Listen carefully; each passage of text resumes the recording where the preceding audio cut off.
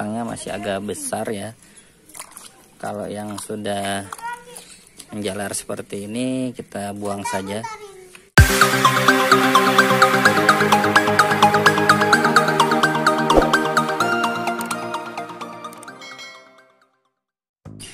Halo pemirsa, Assalamualaikum warahmatullahi wabarakatuh.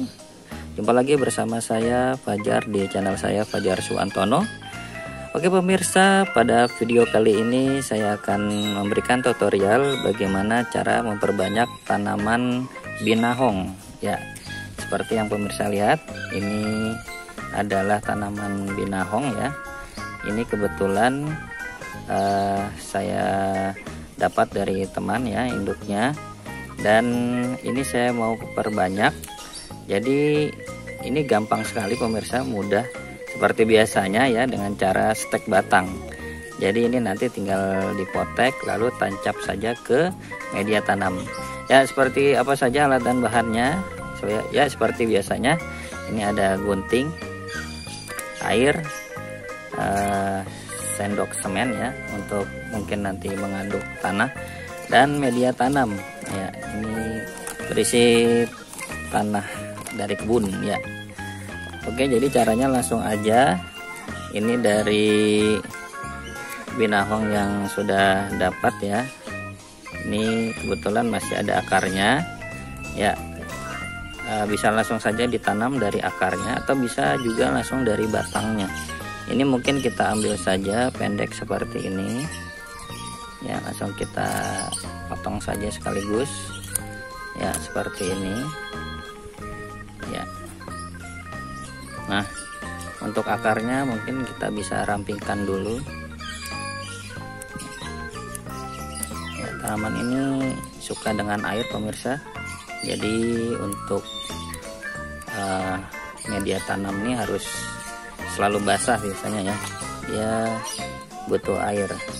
Dan ini cara menancapkannya ya tinggal kita uh, gali saja tanahnya sedikit lalu kita tancap seperti ini. Ya. Nah, ini kebetulan yang sudah ada akarnya ya. Nah bisa kita tancap seperti ini. Ini dari batang yang besar yang masih sebesar ini. Ini juga bisa kita pendekkan lagi ya. Dan ini nanti kita tancapkan lagi. Jadi ini bisa kita jadikan uh, tanaman baru lagi ya.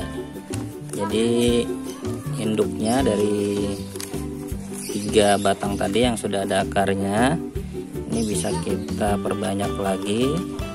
Jadi caranya hanya seperti ini. Ya kita tancapkan saja jangan terbalik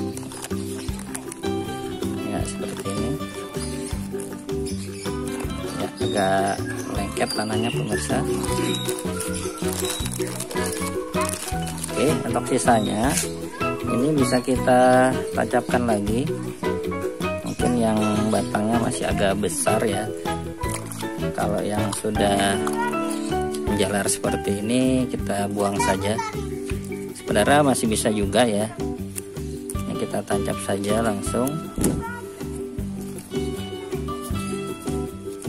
ini pohonnya ini tanamannya melilit ya pemirsa. Nah bagusnya nanti kalau sudah tumbuh panjang ini kita uh, beri arah rambat ya dengan membuat kawat kita anyam kotak-kotak ya atau apalah ya supaya bisa dia merambat ya. Nah untuk khasiat binahong sendiri. Ini banyak sekali manfaatnya. Ya bisa lihat di Google. Nah itu dia sekilas manfaat dari tanaman binahong. Ya kita lakukan proses penancapan seperti ini pemirsa.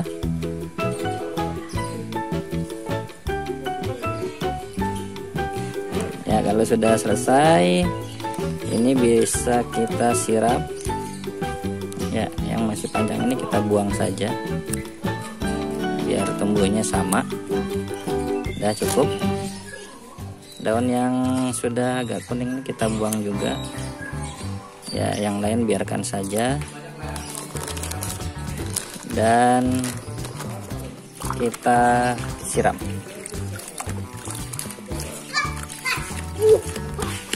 Ya cukup. Nah sekarang kita letakkan di tempat teduh ya sampai dia tumbuh dengan sendirinya. Kurang lebih seminggu nanti dia sudah tumbuh akar dan tumbuh seperti tumbuhan yang biasa sudah hidup ya. Ya pemirsa uh, ini dia uh, hasilnya. Ya semoga bermanfaat. Sekian dulu dari saya. Jangan lupa subscribe nya komen like and share. Sampai ketemu lagi di video berikutnya. Assalamualaikum